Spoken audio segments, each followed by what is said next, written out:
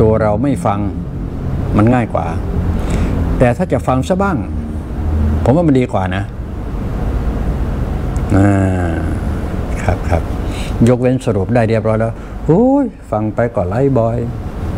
ดูไปก็ยิ่งทำให้ปัญญาต่ำซามลงไปประมาณนั้นครับเพราะฉะนั้นเมื่อเราวินิจฉัยตรงนั้นได้เรียบร้อยแล้ว แล้วก็ตัดส่วนย่อยไป ให้มันห่างจากชีวิตไปเรื่อยๆห่างจากชีวิตไปเรื่อยๆ แล้วเราก็จะเหลืออยู่หนึ่งเดียวไม่มากนักในการที่จะใช้ชีวิตประจำวันของเรา ผมว่ามันง่ายขึ้นเยอะนะอืม ง่ายเยอะเลยนะครับ ส่วนตัวผมนะครับ อย่างละครเนี่ย ไม่เคยดูเลยครับ ไม่เคยเด็ดขาด เพราะฉะนั้นใครดูละคร ถ้าหากว่าใครก็ตามมาตบตีในบ้านเรา ผ่านจอเราดูก็เฮ้ตามเฮ้ตาม จะตลกปกฮาได้เฮ้เฮ้ตาม ถามว่าได้อะไรนะครับ บันเทิง บันเทิงในลักษณะอย่างนั้นนะผมว่ามันไม่ใช่ บันเทิงที่สร้างสรรค์นะบันเทิงสร้างสรรค์มันต้องมีเหมือนกับอ่านหนังสือการ์ตูนเนี่ย มันสร้างสรรค์นะครับ มันจะมีรุนแรงนิดหน่อย แต่เวลาพลิกอีกขั้วหนึ่งเป็นการอะไรล่ะ สร้างสรรค์นะ เพราะฉะนั้นเรื่องการผ่านจอดูผ่านจอ จะเป็นจออะไรครับที่เขาเรียกว่าฟรีทีวีสามห้าเจ็ดเก้าด้วยเลยนะดูฟรีผ่านจอที่เป็นเคเบิลเนี่ยต้องซื้อนะครับ ซื้อแพ็กเกจเรื่องต่างๆนะเขาผ่านจอเสียเงิน ผ่านจอไม่ต้องเสียเงิน ก็ต้อง คอยพินิจหน่อยครับมิฉะนั้นแล้วเราก็จะหลงกระแสไปเรื่อย ฟังเพลิน สาระก็ไม่มีแถมนำเราเข้าไปสู่จุดนั้นไป เพราะว่าเกิดความเชื่ออย่างเงี้ยเคยเกิดความเชื่อไอดอลบุคคลที่เราคิดว่าเป็นตัวอย่างหนึ่งไอดอลไอดอลเนี่ยบางทีก็ไอดอลนะฮะทำให้เราเสียผู้เสียคนตามไปด้วยนะนะเสียโอกาสบางทีนะ เพราะฉะนั้นลองใช้สติ ใช้อะไรนะจะบอกว่าปัญญาก็เกินไป ใช้ความสังเกตดีกว่าอืมสังเกตเปรียบเทียบสรุป สังเกตเปรียบเทียบสรุปเสนอแนะและอธิบายได้คำว่าเสนอแนะยกตัวอย่างเช่น ถ้ามีดีนะ บ้านเราดทีวี คลิปไหนที่รู้ว่าดี นะฮะอยากให้เพื่อนฝูงได้รู้ก็ส่งเป็นคลิปให้เพื่อนดูครับใดๆก็ได้นะมันมีเยอะห้าหกพันคลิปเลยเวลานี้ดูแล้ว เออ มันเข้าท่า มันมีการสร้างสรรค์ในจาในการพูดคุยกันในคลิป และหรือในการกระทำของลุงหลอกลองดูครับ ว่ามันจะมีผลต่อไปให้กับบุคคลอื่นได้รับอานิสงส์ไหมกับสิ่งที่ทำทำเนี่ย เพราะฉะนั้นจึงบอกเล่า 90 หากว่าเป็นประโยชน์ก็นำเสนอใครก็ได้เพื่อนฝูงญาติมิตรว่าไปนะครับอ้าวล่ะ วันนี้พอดีมีสิ่งหนึ่งตัดมาจากหนังสือพิมพ์นะครับ ไทยรัฐหน้าเจ็ดของวันนี้ใช่วันนี้ครับ มันมีสิ่งหน้าหน้าหน้าหน้าทำความเข้าใจนะ เรื่องสุขภาพครับผม ทุกวันนี้ผมว่านะ บรรดาที่เป็นนายแพทย์นางสาวแพทย์และนางนายแพทย์นางแพทย์และนางสาวแพทย์ครับ ทุกวันนี้เรื่องของชื่อโรคต่างๆ ใด ๆที่มีมาครับคงไม่ต้องไปเรียนรู้อะไรแล้วครับ เพราะทางด้านวิทยาศาสตร์เทคโนโลยีเนี่ย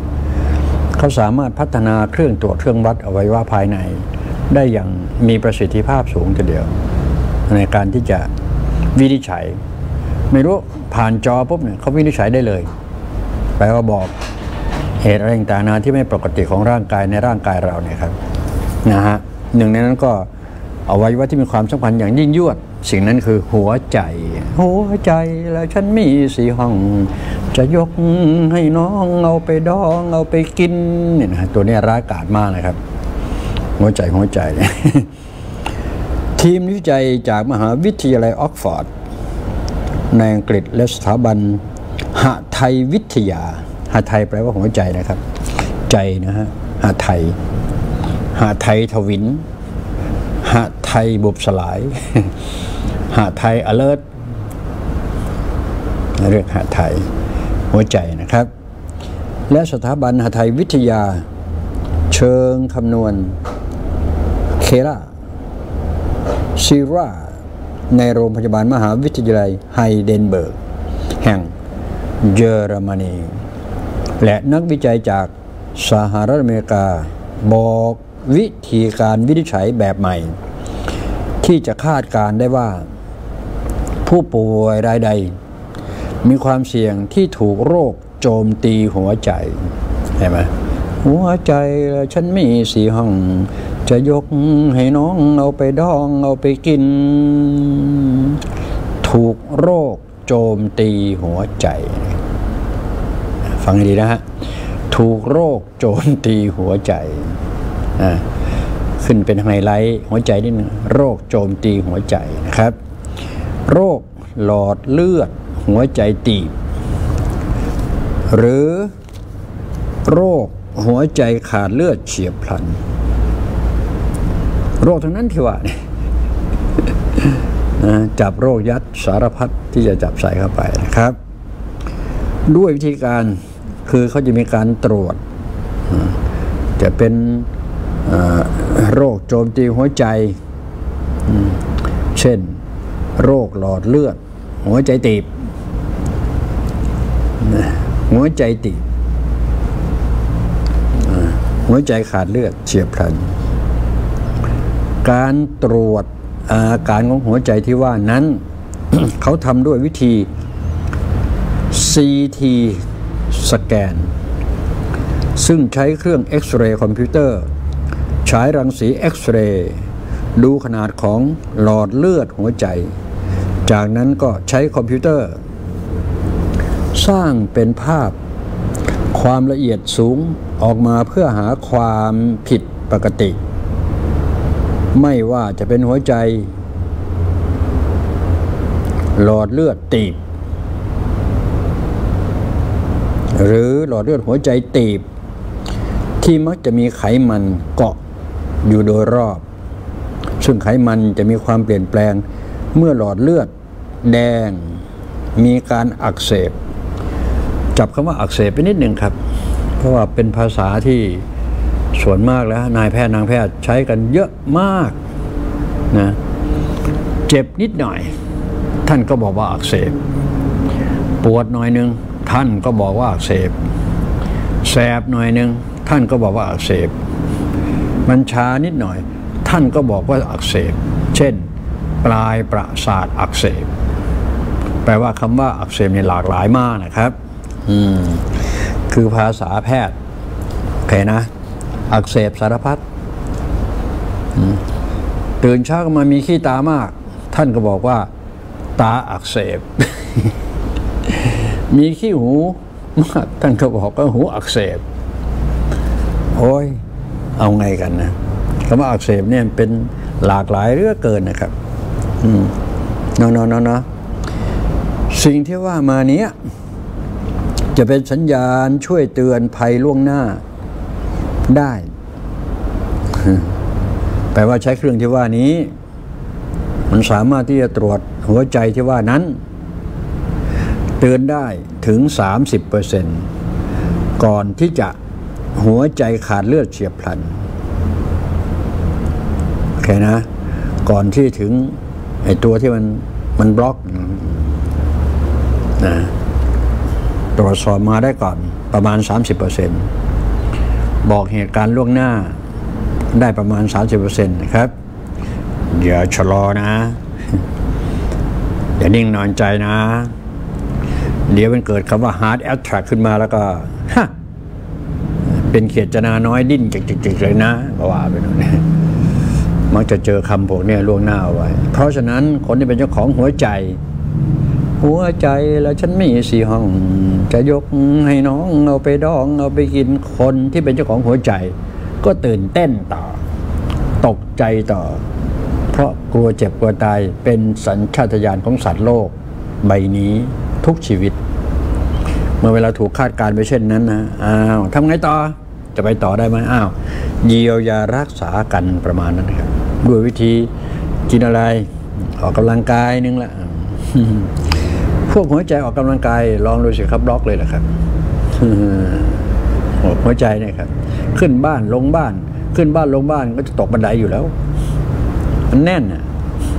เห็นไหมฮะคนที่มีภาวะหัวใจถ้าไปออกกำลังกาย คือมันหัวใจมันเต้นเร็วขึ้น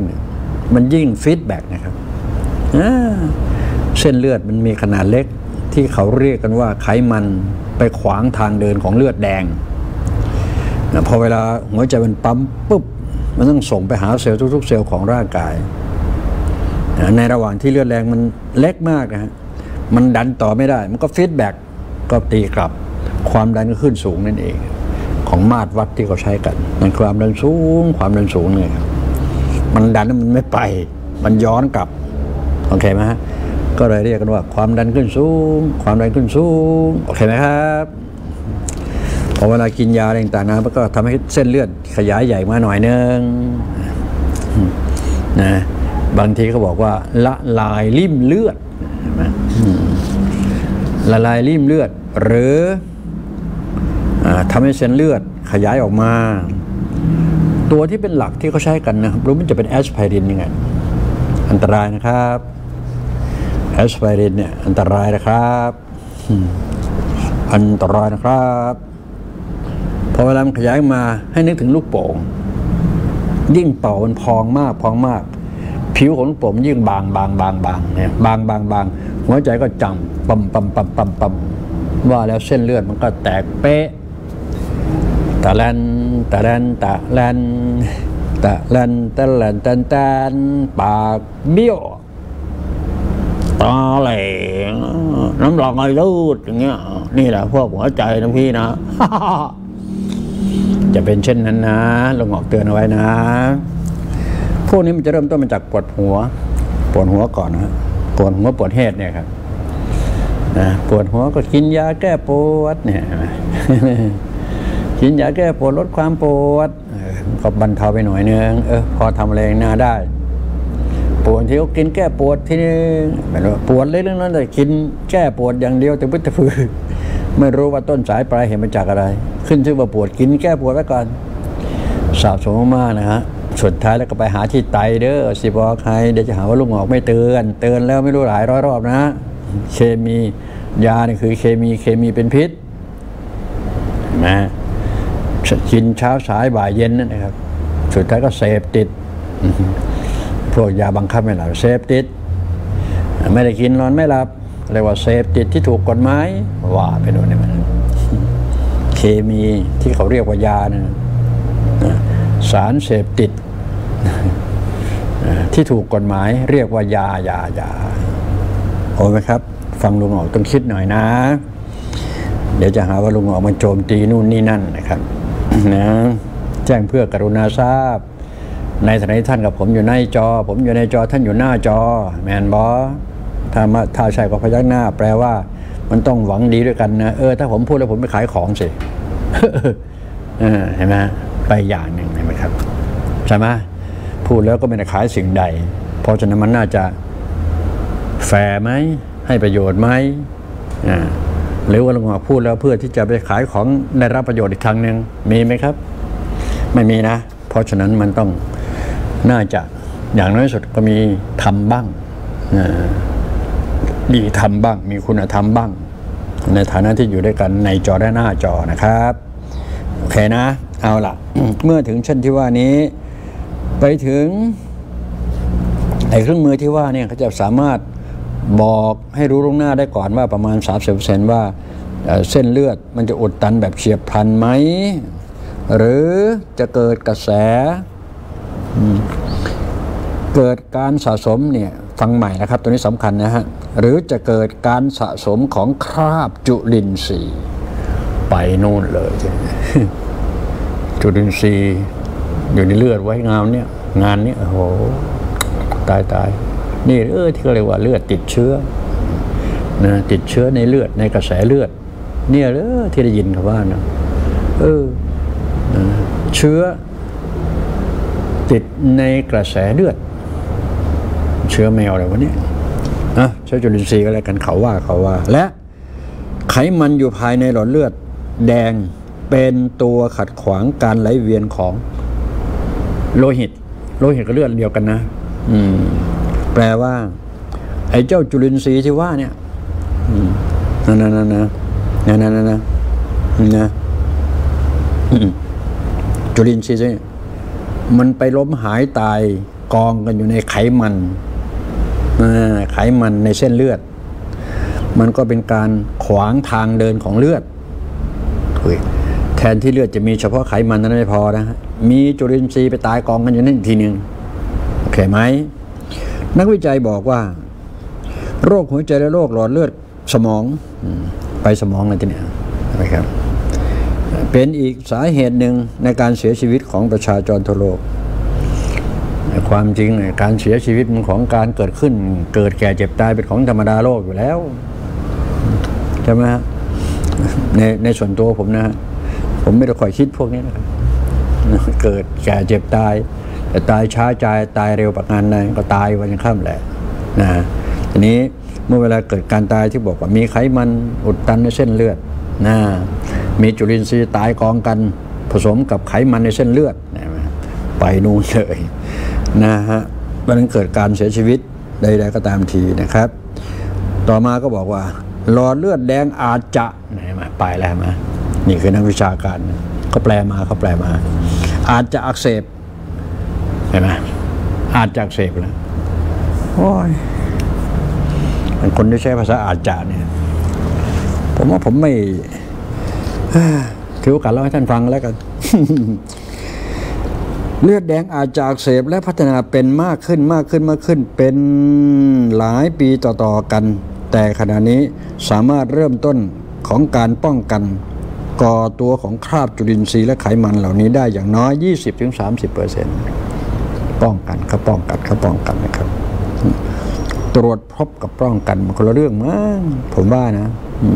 เขาตรวจผ่านเครื่องมือที่ว่านั้นเขาเจอสิ่งไขมันกับจุลินทรีย์ตายกองกันอย่างนั้นนะ นั่นตรวจพบ คงไม่ใช่ป้องกันนะอโอเคนะ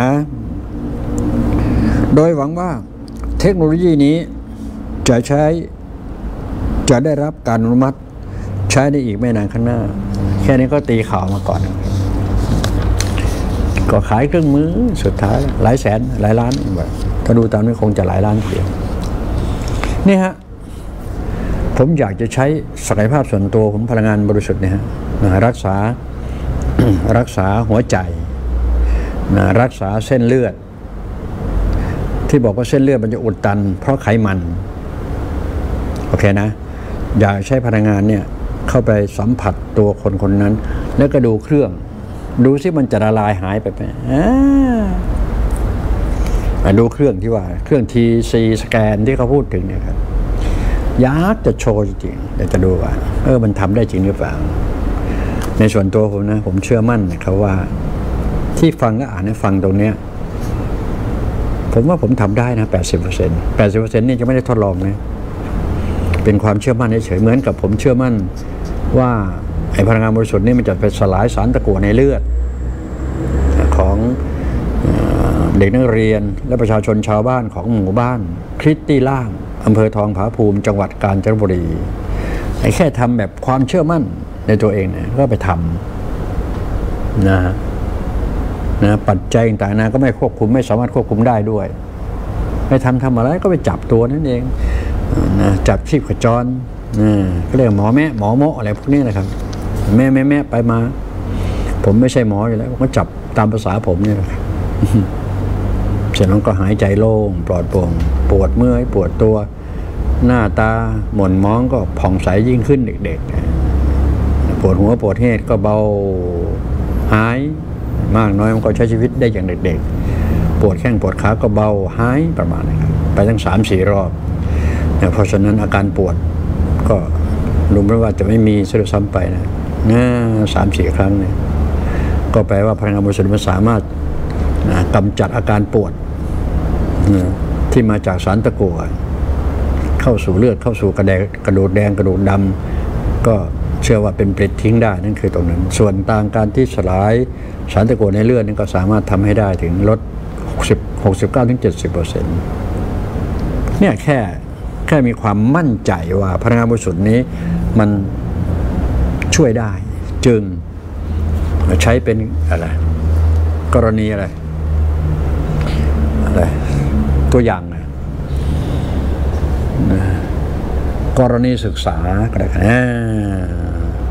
แต่ผมรู้ว่าผมวิจัยในสิ่งที่พลังงานบริสุทธิ์ออกมาใช้งานได้แล้วในส่วนตัวส่วนตัวนะมันเป็นของใหม่พี่ไอ้เจ้าพลังงานรักษามนุษย์โอ้โหเป็นของใหม่เหลือเกินนะผมจึงบอกว่าสิ่งนี้ฮะศตวรรษที่ 21เนี่ยจะมาใช้ควบคู่กับเครื่องมือที่ว่านี้นะครับเครื่องมือตรวจมาเลยเปิดแน่ before before before ให้เขารายงานมาเปิด ผ่านสองมือลงออกปั๊บวนมาอีกรอบนึงตรวจทีนึง